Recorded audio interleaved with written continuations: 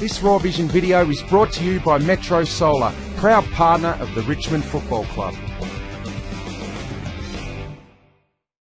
Player number 215, double two three, Daniel Butler, North Ballarat Rebels, Lake Wendouree been region. great. Um, the boys have welcomed me in, um, and it's just made the transition so much easier for me. Like coming in, I was obviously nervous and stuff like that, but they've all just um, accepted me and, and brought me into the club, and now I feel right at home here. So I've moved to Fitzroy uh, with my uncle and auntie and their four sons, my cousins, and I'm lucky that one of them's one of my best mates. So um, you know, it's good. Uh, I get to spend time with them because I didn't used to see them very much, but perfect, uh, perfect place for me to be. I've got a pool there, and, and it's just a good place to relax.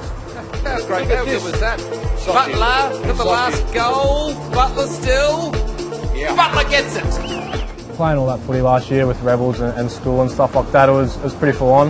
Um, obviously with year 12 as well, was, there was a lot of times I had to sacrifice things um, like school or, or um, extra sessions and stuff like that, but I think I handled it pretty well. Last year I played on the, uh, on the G with uh, St Pat's and it was a great experience. We, we were going up for five in a row for the Herald Sun Shield and you know, there's nothing like school footy, playing with your best mates and stuff like that. And it's something I'll remember forever pre-season here, it's been it's been tough. It's nothing like I've ever done before. Um, it's a big difference from you know training at Rebels only twice a week, but um, you know it's good fun. Um, it's it's good being around the boys, and, and you know you're just getting fitter each day, and looking forward to round one.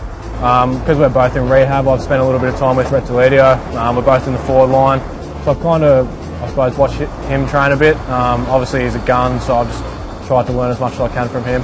My main goal is just to get back to full training. Obviously, I'm, I'm injured at the moment, um, so I'm, my main goal is just to get back to full training, um, be with all the boys, create great relationships with all of them, and you know if I can get a NAB Cup can, that'll be great. But then again, I'm not setting any expectations on myself. I've got to get full training again and just show what I can do.